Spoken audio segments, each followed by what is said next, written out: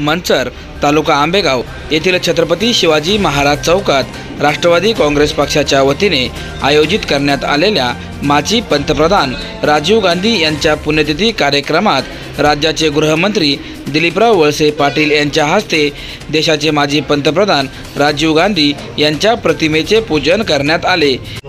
माजी पंतप्रधान भारतरत्न स्वर्गीय श्री राजीव गांधी यांच्या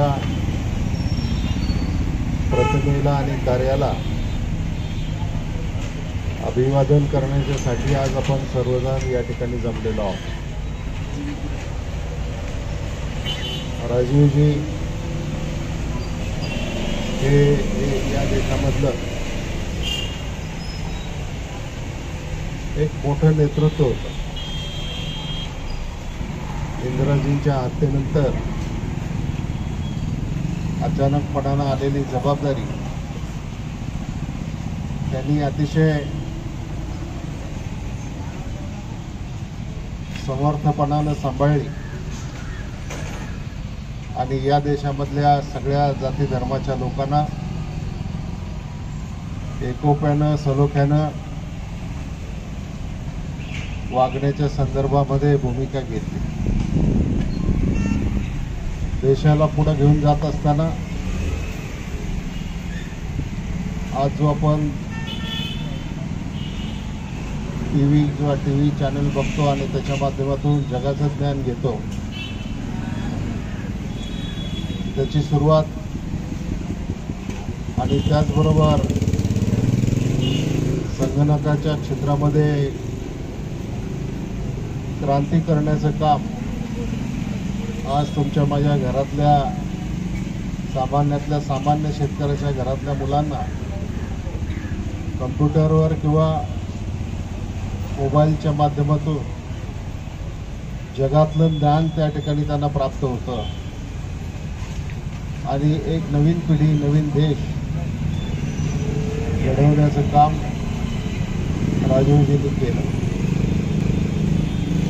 आज दुर्दैवानं सत्तेमध्ये बसलेले लोक वेगवेगळे भावनात्मक प्रश्न तयार करून समाजा समाजामध्ये तेढ कशी निर्माण होईल? समाजा समाजामध्ये अंतर कसं निर्माण होईल? असा प्रयत्न चालू आहे. याच पद्धतीने देश जर चालत राहिला तर मी आपल्याला सांगतो की उद्याच्या काळामध्ये आपल्या देशामध्ये अन्य देशामध्ये आपण जे चित्र पाहतो तसं चित्र उभं राहिल्याशिवाय राहणार नाही. आणि म्हणून राजीवजींचा एकतेचा विचार समानतेचा विचार सगळ्यांना घेऊन पुढं जाण्याचा विचार हा आपल्या प्रत्येकाच्या वर्तनामध्ये असला पाहिजे आपल्या प्रत्येकाच्या कृतीमध्ये असला पाहिजे. या देशाला एकत्र करत असताना दुर्दैवानं अतिरेक्यांच्या एका कृतीला बळी पडून बॉम्बस्फोटामध्ये राजीवजींची हत्या झाली. आणि या देशातलं एक तरुण दगदगतं नेतृत्व